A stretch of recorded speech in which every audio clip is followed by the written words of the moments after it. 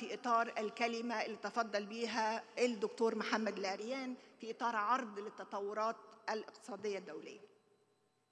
هي مهم إن إحنا بس نؤكد على إن إحنا لما بنتكلم على التجربة التنموية المصرية أو النظرة المستقبلية ينبغي ألا يتم ذلك في معزل عن المتغيرات الدولية المحيطة بها ده لما أقيم أي تجربة ما أقدرش أقيمها في إطار الظروف المحلية فقط ولكن لازم أبص على هذه التجربة في إطار ما كان يحيط بها من تطورات ومن متغيرات سياسية ودولية.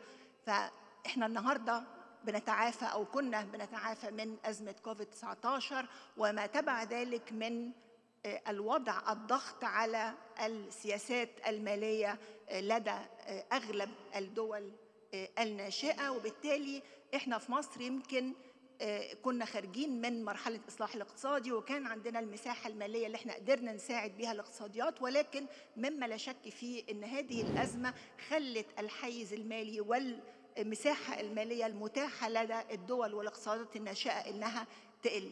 ثم بدأنا في الأزمة الجيوسياسية وانعكاساتها المستمرة وده أدى إلى نقص شديد في العرض نقص في جانب العرض من السلع وبالتالي اضطراب شديد في سلاسل الإمداد أزمة الطاقة النهارده الموجودة في أوروبا. كل ده عمل إيه؟ كل ده رفع الأسعار بشكل كبير. دخلنا في موجة تضخمية شديدة والحقيقة الموجة التضخمية دي البنوك المركزية بدأت أو تسارعت في الاتجاه إلى رفع أسعار الفايدة عشان تقلل من ضغط هذا التضخم على المواطنين بتاعتها.